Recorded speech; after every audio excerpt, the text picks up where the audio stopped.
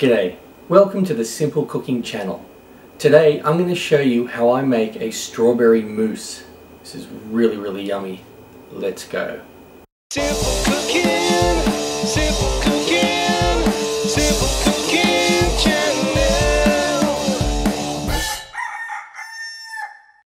Get a small saucepan, put in two tablespoons of cold water.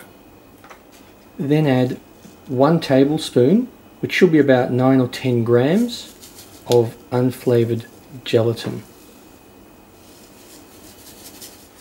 Now just let it sit here for a few minutes just to absorb the water and glugify a bit. Now put this on the stove, turn it onto low and just give it a stir after about 30 seconds. Once the crystals have dissolved and the liquid is clear, it is done. Alright, that is done.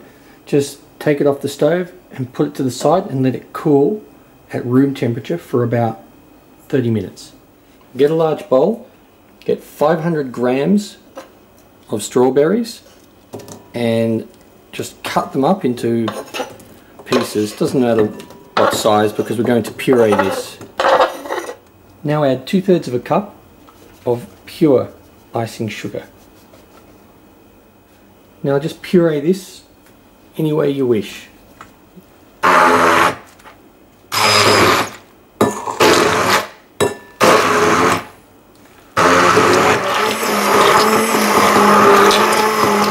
Now that this has cooled to room temperature, pour that in here. Just mix that through.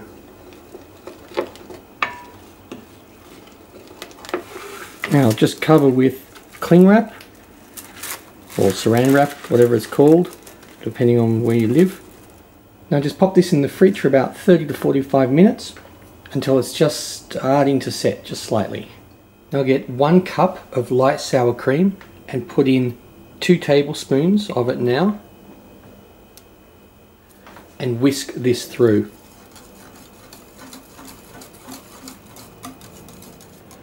Put the remaining amount in and fold this through.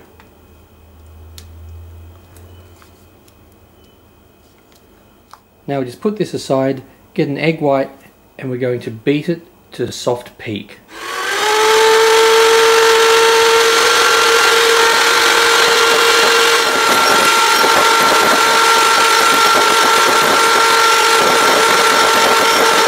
Now get the strawberry mixture, get the egg whites, put them in there.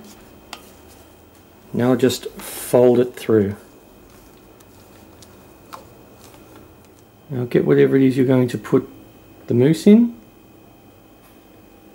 Bowl, glass, ramekin, whatever. Now you can eat it as is or put them in, put this in whatever you are planning to serve it in and then put it in the fridge for half an hour and then serve. Well, I hope you like this. Yummy.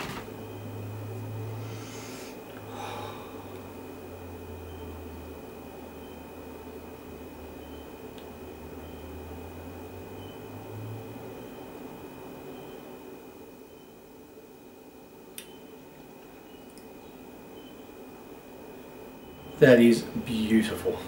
And the fresh strawberries in it just makes such a difference. I'll see you next time for my next meal.